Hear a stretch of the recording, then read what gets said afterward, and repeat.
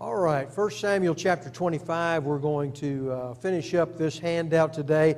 If you have that with you, you will be on the very back page of that. The two responses to Abigail, we pick up in chapter 25, beginning in verse 32. And uh, remember what's taken place here. David's on the run from King Saul. He's out in the countryside, in the wilderness area. And uh, in the vicinity, you have a man by the name of Nabal he has shepherds out there. They have flocks and animals, and they're watching over them. And David's men are sort of guarding them from a distance. They don't bother Nabal's men. They make sure they're safe from any raiders who might come their way. They're actually protecting them and not taking anything from them. Sheep shearing time comes up. David sends 10 messengers over to Nabal and, uh, and is asking for him to help them out with uh, some food and things that they need. David has 600 men with him, and they've taken great care of Nabal's shepherds and uh, haven't even been asked to do so, but they've just done that out of kindness and godliness. Nabal is uh, belligerent about the whole thing, insulting to David, and uh, sends his men back with their tail between their legs. And when David finds out about Nabal's character and the way he treats his men in such a shameful manner, David mounts up his men, and they're heading down one hill to go wipe out Nabal and everybody he has. There wouldn't be a male left of his household. That'd be the end of Nabal's family line. And when uh, Nabal's wife, Abigail, hears about it, she mounts up a bunch of servants and a bunch of food and gifts, and she's heading down another hill. David and his men meet her and her servants coming down those hills and she beseeches David to allow her to speak and to listen to her words. Offers great apology to David, apologizes for her husband, acknowledges what kind of man he is, but she's not that way. And David is very grateful that she came, and he sort of settles down. Did you know that sometimes we can respond to things in an emotional way, and it's not right? We can get very upset about some things. And we give what we call a gut reaction or a knee jerk reaction, that's built on emotion. And if we would pause, sometimes they would tell us count to 10. If we would just pause and think through that, it would be the best thing for us. And Abigail is David's pausing point. And he is so grateful for that. And we're looking in on that text now. We're going to begin in verse 32. Let's read 32 through 34. Then David said to Abigail, Blessed be the Lord God of Israel who sent you this day to meet me. And blessed be your discernment, and blessed be you who have kept me this day from bloodshed and from avenging myself by my own hand. Nevertheless, as the Lord God of Israel lives, who has restrained me from harming you, unless you had come quickly to meet me, surely there would not have been left to Nabal until the morning light as much as one male. Now, we'll stop there in our reading. We'll read the rest in just a little bit. David starts off with a threefold blessing what is that threefold blessing? You're looking in verses 32 and 33. The first blessing is what? Before that, it's about God. Blessed or blessed, I'm in King James lingo, I think. Blessed be, that's we used to read it in the King James. Blessed or blessed be the Lord God of Israel who sent you this day to meet me. So there is the first blessing. It's about God. He's understanding God's involved in this. He's thankful to his God for intervening in this case. The second one is the one that Glenelle had spoken of about her discernment in verse 33. Blessed be your discernment. And I want you to think about it this way. Sometimes we pray to God and God supplies an answer through His Word, maybe providentially, perhaps through someone of faith who will speak to us on behalf of God. And so you have maybe this idea of prayer. I'm going to beseech God. I'm, I'm approaching God with this. Second blessing for her discernment. She understood something. She had great discernment. She could weigh this thing out. She could see where it was going. She could see God's will. She could see the danger. She could see how to prevent it. She had discernment. But then comes the third one. Notice that in verse 33 And blessed be you who have kept me this day from bloodshed. She acted on it. There is God, there is our discernment of what God wants in a situation, but if we don't act on it, what's been accomplished? So think about this in prayer life where we are thankful to God, we gain discernment about certain things. This needs to be done, this needs to be said, this needs to be accomplished, this will help. But if we don't act on it, she went to David, she did something. If we don't act on that, what's been accomplished? It's a threefold blessing, and it sort of lays out a pattern for us to follow if we want to work along with God and be helpful and produce something good in a situation. So there's the threefold blessing. Be sure to connect between what God does and our involvement in His providential plan. That's verse 33 and 34. When you get to verse 34, Nevertheless, as the Lord God of Israel lives, who has restrained me from harming you. How did he do that? Well, back up in verse 33 Blessed be you who have kept me this day from bloodshed. She kept him from bloodshed. She kept him from avenging himself. But God, in verse 34, is the one who restrained him. How did God restrain David? Through Abigail. Does God work through us today? Do we work alongside our God? Are we fellow workers with Him in that way? So you think about what we can do, what we should do, and how God can work through us. If we don't act on that, we're, we're, not, we're not going to see God's good end come out of that. There is something that He has for us to do. But if we don't act quickly like Abigail did, then what's going to come from that?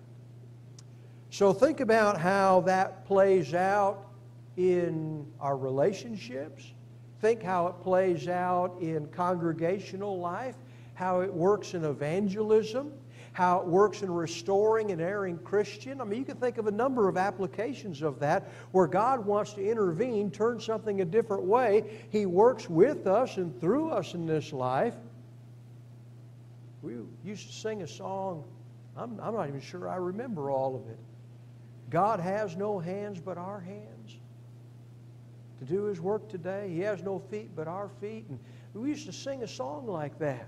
And, uh, and so we need to act quickly like Abigail did, and we can really produce good in God's name. Now, here is verse 35. So David received from her hand what she'd brought to him. We read about that in the previous lesson, all the gifts and food that she brought and said to her, Go up to your house in peace. See, I've listened to you and granted your request. And I want you to, to look at the word received, verse 35, number one. Number two, he said to her. Number three, he said, See. Now you can understand. Now you can perceive. Now you can know. You can go to your house in peace. So look at received, said, and then see and think about how those things come together. And so uh, you have this idea that uh, she brought something, he welcomed it, and then he said something to her. If he had not said something to her, how would she know? Is he appeased? Is he happy? Did he take it grudgingly? Is he still upset? Is he still coming? But he spoke to her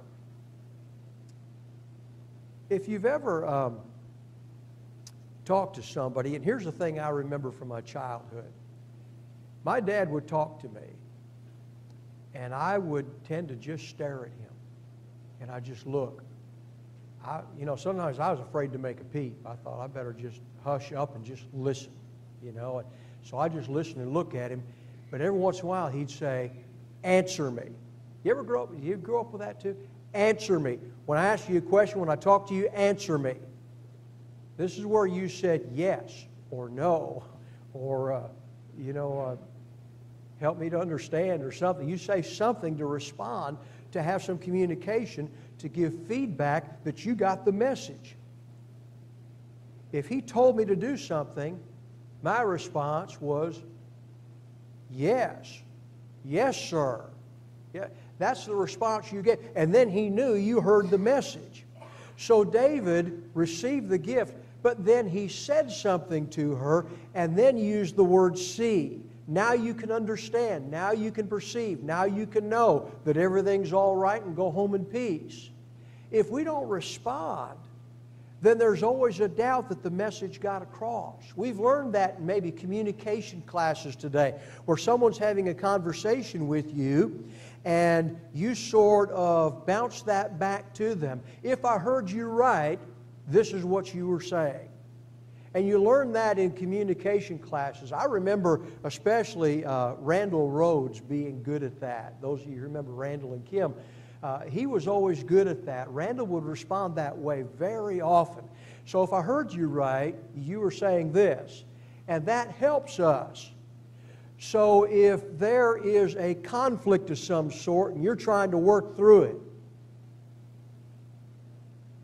and I've run into this time and time again where there's a Bible misunderstanding. Maybe somebody's veering off the wrong direction in their understanding. And you open up your Bible and you say, Well, let's look at this passage. And you look at this passage and you read that together. What do you see there? How, how, does that, how does that work with what you're saying? Do you see something different there?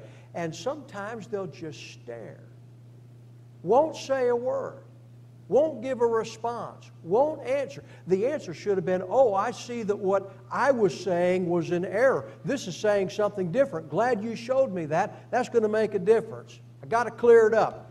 That would be so helpful. But when they just stare and don't say a word, you have to assume you didn't get through nothing made sense, or even if it made sense, they're not going to buy into it. They don't care what's in the Bible, they don't care what's there. I'm going to reject that. When that silence comes, you can know you've been rejected.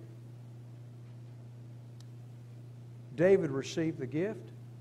He said to her, and then said, See, now you can understand. And that's the way we ought to communicate with each other. And even if one disagrees, still, it's good to know that. But when I receive a silent treatment, I have to assume the message didn't get through and they're still in disagreement. So remember, the communication process here is sort of lined out for us and will be very helpful if, helpful if we begin to follow that. You have some ideas or thoughts here? Ron?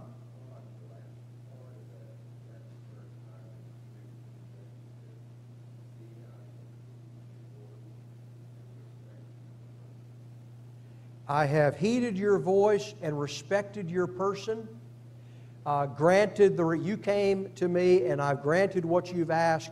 And uh, yeah, that's a, that's a good thought there. Uh, that's the New King James. Yeah, heeded your voice and, uh, and respected your person, listened to you, and granted your request is the New American Standard. So that's a good thought. Sometimes comparing translations is helpful, isn't it? And you get a fuller understanding of, of uh, a verse. So that's good. All right, we're on to verses 36 through 38. Let's look at that. Then Abigail came to Nabal, that's her husband. He's back home having a feast at sheep shearing time. They're eating and they're drinking and uh, we find out he is drunk at this point. So Abigail came to Nabal, and behold, he was holding a feast in his house like the feast of a king. And Nabal's heart was merry within him, for he was very drunk. So she did not tell him anything at all until the morning light. But in the morning, when the wine had gone out of Nabal, his wife told him these things. And his heart died within him, so that he became as a stone.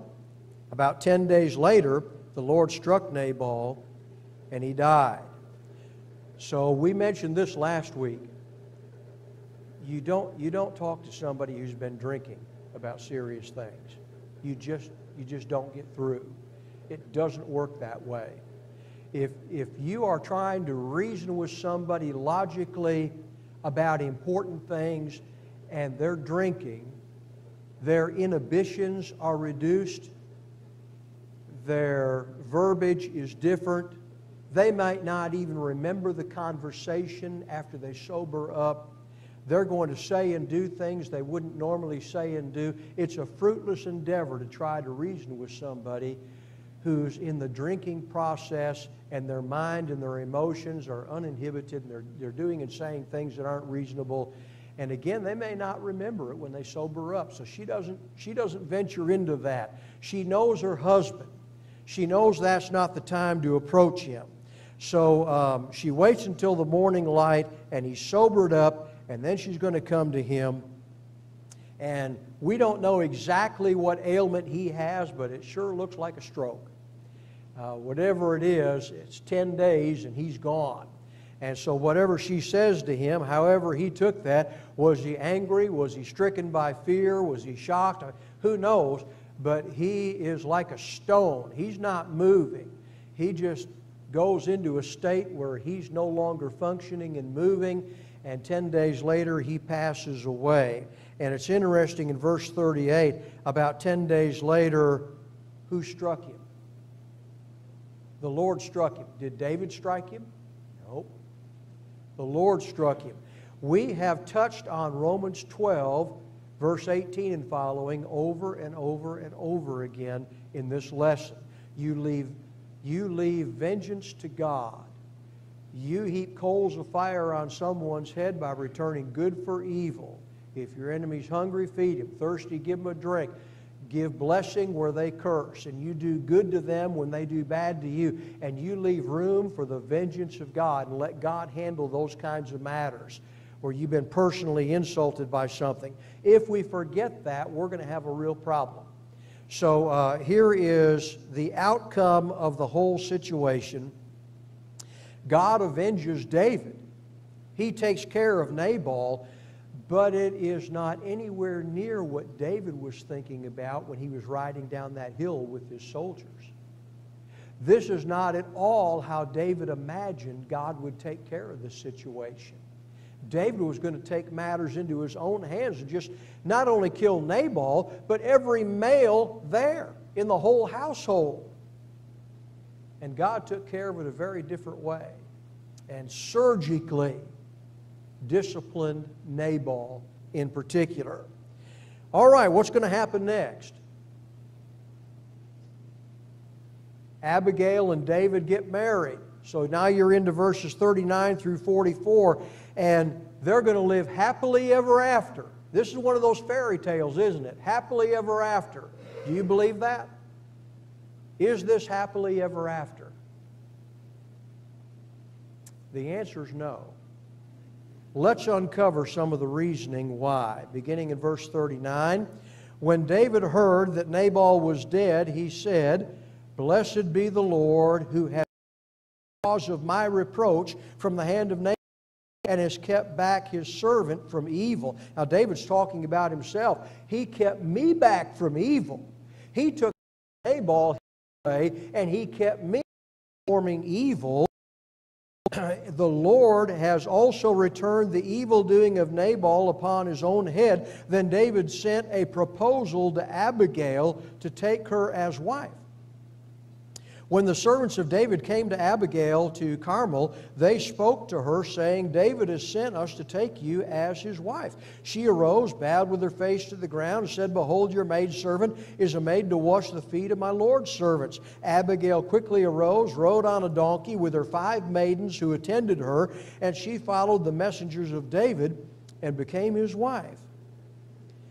David had also taken Ahinoam of Jezreel, and they both became his wives.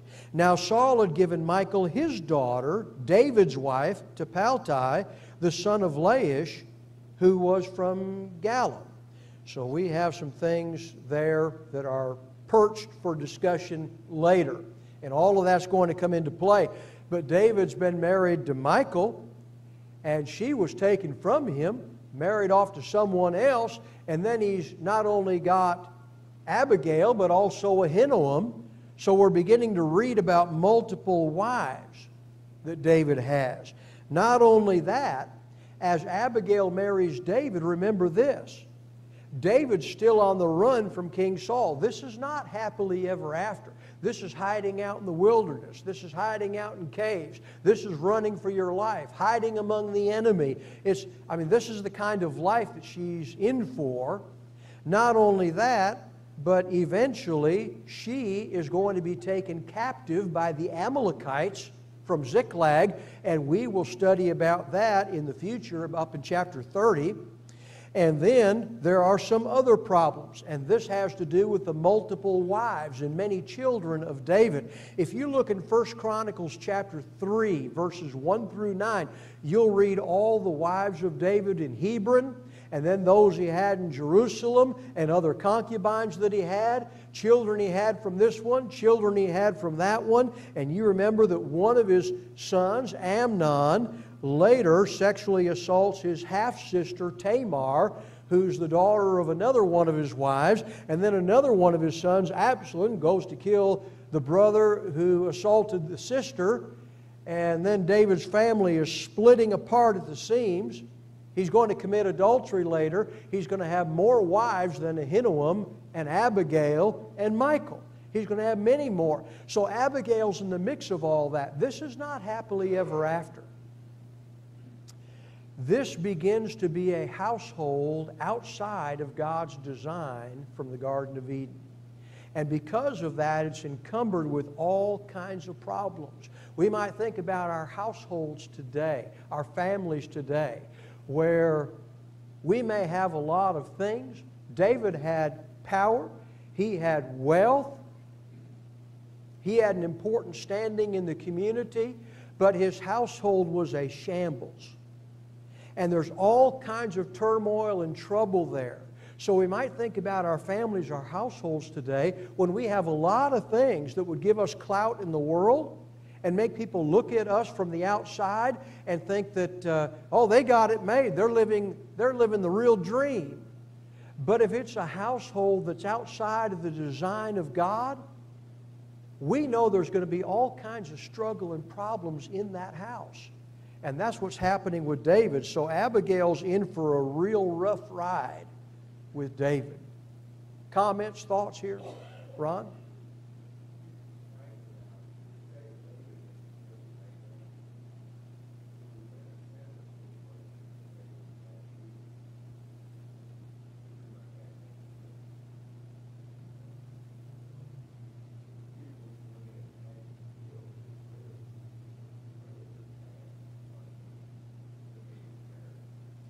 Yes, he could. I guess uh, Ron says, you know, what if he went and killed Nabal and then took his wife uh, from him and married her? And think about how that would have looked, how that would have appeared. It wouldn't have been very honorable at all. More like David did with Uriah and Bathsheba, and that was shameful and, and uh, caused the great discipline of God in that situation.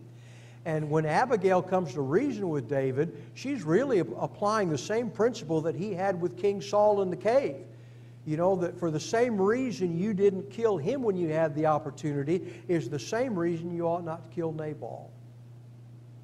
And sometimes taking principles that we learn in one situation and being able to apply them in a new situation is tough for us. And so she helps David to see that that application is still there. You know what? Nabal, Saul, I know Saul was the Lord's anointed as the king, but Nabal, Saul, Uriah, Every human being is created in the image of God. And it is a reason for the prohibition against killing in the Old Testament. These are beings created in the image of God. And we ought not to spill that blood.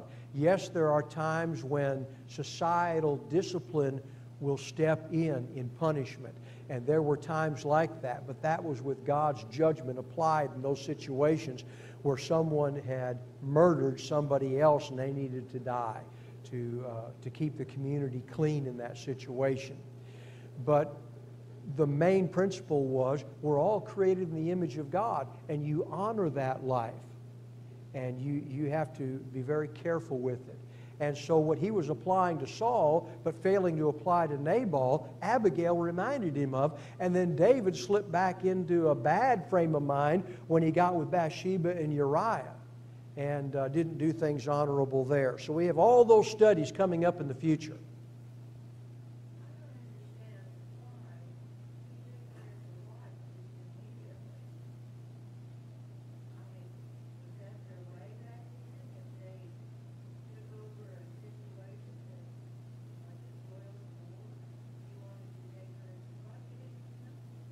Well, it wasn't spoils of war. She, uh, Linda's asking, you know, why did he take her just that swiftly as his wife?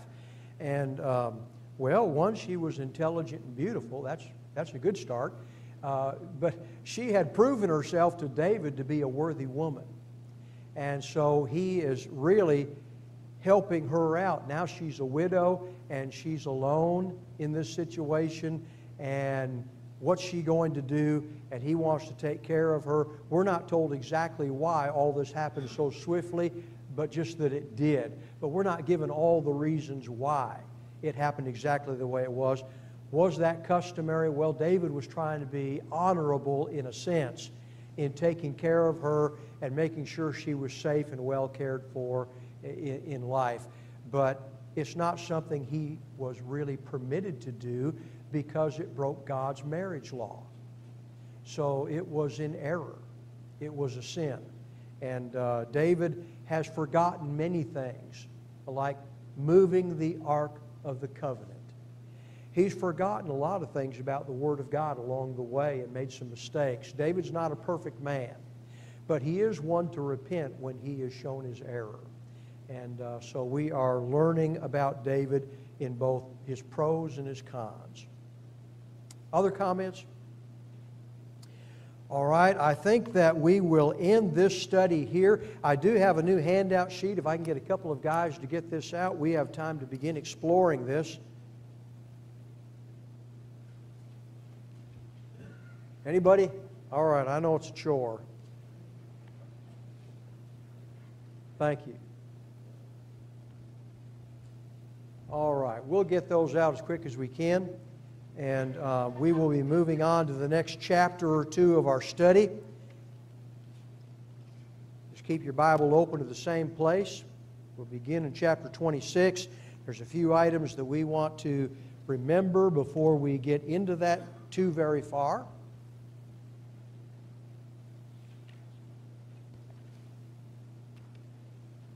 I do have a map in there for you in this new handout. There's a map in there. Your eyes have to be good to see it. I've got so much paper to work with, and, uh, and sometimes it's hard to get those maps as big as I'd like them. The maps, in case you're wondering, well, where do those maps come from? The ones that have that appearance that you're seeing in your handout right now are from the Carta Bible Atlas. And uh, that's where they come from. There are some other maps that I tend to use, and they have a more greenish color to them, a brighter greenish color to them, and those are from Tyndale. And there is a book called uh, Bible Charts and Maps, or Maps and Charts, or something like that from Tyndale. And uh, Tyndale's book is a paperback, and when I first bought that, I realized there was a CD in the back of it. And you could take that CD and slide it into a computer and download all those maps to your computer. So the ones that are the brighter green color are from Tyndale, and these ones are from Carta Bible Atlas. We're going to be reading in these next two chapters, 26 and 27. David's going to end up in a place called Ziklag, and that's in chapter 27. Chapter 26 is why he ends up at Ziklag. How does he go there? Ziklag is enemy territory. Ziklag is with the Philistines. And so, why would he choose, of all places, to go there? Chapter 26 tells us why. And we'll be reading about the fifth escape of David. Four times, David's escaping from the pursuit of Saul. One time, he's escaping from himself. And we just read about that. What he was about to do to Nabal. David escaped from himself in that by listening to Abigail, listening to the Lord's will, and allowing God to take vengeance in that matter. David escaped from himself. Whenever our emotions are pushing us to do something we shouldn't do, and we pause and we draw back from that and come back in line with God's will, we are escaping from ourselves and what we were determined to do. So we need to pause and think about some things. This is the fourth time that he's going to be escaping from King Saul. Chapter 26 locates us geographically in the wilderness of Ziph, Z I P H. And if you can look at that map and maybe squint at it a little bit, you'll find that about midway down the Dead Sea on the left side that is on the west side of the Dead Sea, about 15 miles or so in. You'll find a little writing there, Wilderness of Ziph, and it's sort of italics and curved writing there. If you found that, you can spot that for the remainder of the lesson. And then we're going to be introduced to some key people. They become important in the history that's about to unfold. One of those is named Abner. We were introduced to him back in chapter 14 and verse 50. The name of Saul's wife was Ahinoam, the daughter of Ahimaaz, and the name of the captain of his army was Abner, the son of Ner, Saul's uncle. So here is a relative of Saul named Abner, and he is the captain of his army. And then we come to the brothers three and they play a real important role in what's about to take place. You have Joab, Abishai, and Asahel. Abishai and, uh, or Abisha, I'm not quite sure how to pronounce his name. Uh, they, uh, he and Joab are mentioned in chapter 26 and verse 6 and Asahel has an important role later in 2 Samuel. And we'll run into that when we get to 2 Samuel 2 and verse 18. In that chapter and verse, we read this about Asahel.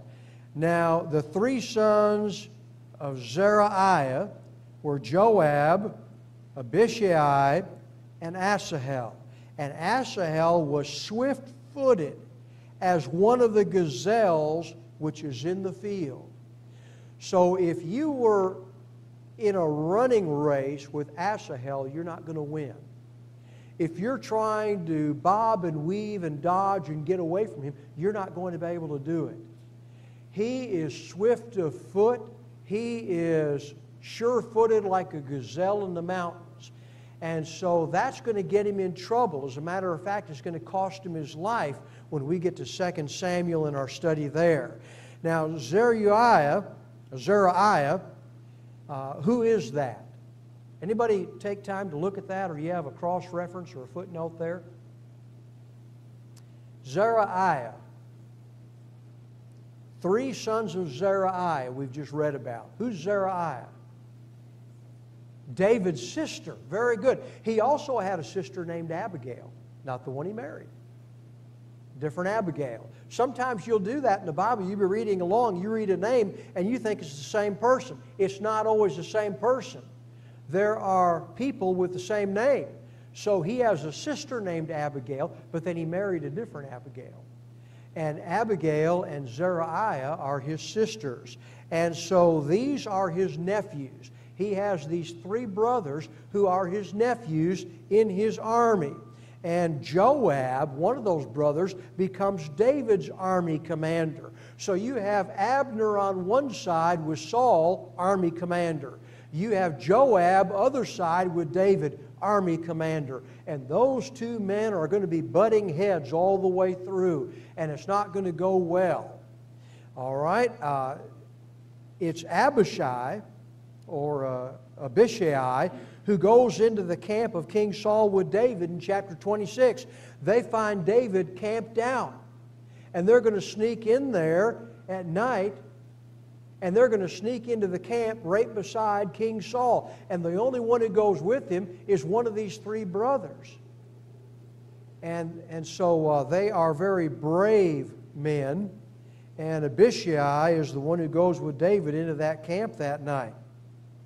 You're also going to have in this chapter a people by the name of the Ziphites, the people of Ziph and they betray David to King Saul. They tell Saul, David's here, come get him. They do that not once, but they do it twice. And that's going to happen in our chapter. It happened first in chapter 23, verse 19. Now it's going to happen again as we open up chapter 26 and verse 1. So uh, Saul is going to be in the camp. And uh, his spear is plotted in the ground in the camp. His spear is like his kingly scepter. So he plants his spear, he lays down at night beside his spear, and his army commander is right next to him, and all the army is circled around him in the camp. You have to go through 3,000 men in a circular fashion. You have to go through 3,000 men past Abner to get to Saul. And Abishai and David go in there to do that. Wouldn't your knees be knocking to do that? And that's what they're going to do. So, chapter 26, verse 1 The Ziphites came to Saul at Gibeah, saying, Is not David hiding on the hill of Hachilah, which is before Jeshimon. So Saul arose and went down to the wilderness of Ziph, having with him 3,000 chosen men of Israel to search for David in the wilderness of Ziph. Saul camped in the hill of Hachilah, which is before Jeshimon, beside the road. And David was staying in the wilderness. When he saw that Saul came after him into the wilderness, David sent out spies. And he knew that Saul was definitely coming. Then David rose and came to the place where Saul had camped. David saw the place where Saul lay, and Abner the son of Ner, the commander of his army. And Saul was lying in the circle of the camp, and the people were camped around him. So I liken this to a game, a board game that we used to play. You ever play Stratego? And you have your flag. That's Saul. And you hide that on the board behind everybody else in your army. And your opponent has to come across that board and go through, you know, bombs and different kinds of soldiers and try to get to your flag and capture it. This is what David and his, uh, and his fellow soldier there uh, are going to do. They're going to come in stratego fashion and they're going to try to move through that whole 3,000 man circular army and get to Saul. And we're going to read something special about that next week when we come back to class about how they were able to do that. It was not necessarily because they were so quiet and stealthy. There's more to it than that. And so we'll look at that next week. Bring your study sheet back and we'll dig into it. We are dismissed from class. Thank you.